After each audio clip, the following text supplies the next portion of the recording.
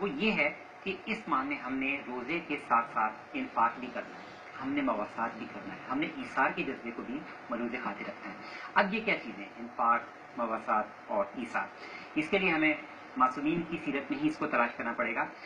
امام جعفر صادق علیہ السلام کا عہد تھا، تو اس زمانے میں قحط پڑا۔ تو امام جعفر صادق علیہ السلام نے اس وقت اس، یہ سوال کیا کہ یہ معلوم کیا جائے کہ ہمارے پاس کتنا گندم اور جو اس وقت ذخیرے میں موجود ہے؟ تو امام کو بتایا گیا کہ اتنی ہمارے پاس اس وقت گندم اور جو ہے کہ ہم یہ پورا جو زمانہ ہے قحط کا، یہ ہم بہت آرام سے گزار سکتے ہیں۔ تو اس وقت امام نے کہا کہ فوراً بازار جاؤ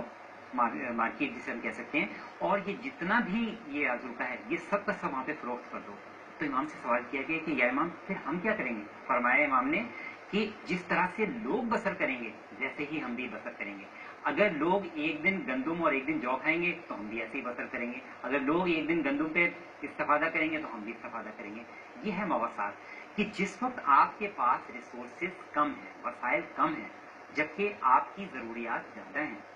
وسائل کے، آپ کے پاس دستیاب وسائل کی نسبت تو اس وقت آپ دوسروں کا خیال کر رہے ہیں، آپ دوسروں کو شریک کر رہے ہیں۔ اور دوسری طرف انفاق وہ ہے کہ جب آپ کے پاس اپنی ضروریات سے زیادہ موجود ہے اور اس وقت آپ صدقہ و خیرات کے ذریعے دوسرے لوگوں کو شریک کریں، لیکن اس سے بھی بڑھ کے ایک منزل جو ہے کہ جو کہ موافات اور اثار کی منزل ہے، جس پر اہل بیت فائز نظر آتے ہیں، اس کی ایک بہت بڑی مثال واقعی کربلا میں بھی ہمیں نظر آتی ہے کہ جس وقت جناب ابو الفضل نے اپنا گھوڑا میدان فرات میں اتارا ہے، تو اس کے بعد جس وقت چلو میں پانی لیا ہے، تو اب ذہن میں کیا خیال ہے کہ بھائی اور بھائی کے بچے پیاسے ہیں اب ایک بھائی پانی نہیں پیے گا، اس لیے کیونکہ بھائی کے بچے پیاسے ہیں۔ تو امام جعفر صادق نے جہاں مواسات کو اس زمانے میں دکھایا کہ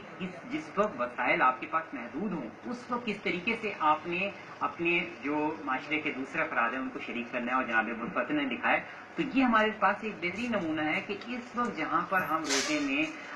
جہاں ہم اپنے اہل خانہ کے ساتھ مل کر سحر اور افطار کے جو لباسمات ہیں، اس سے ہم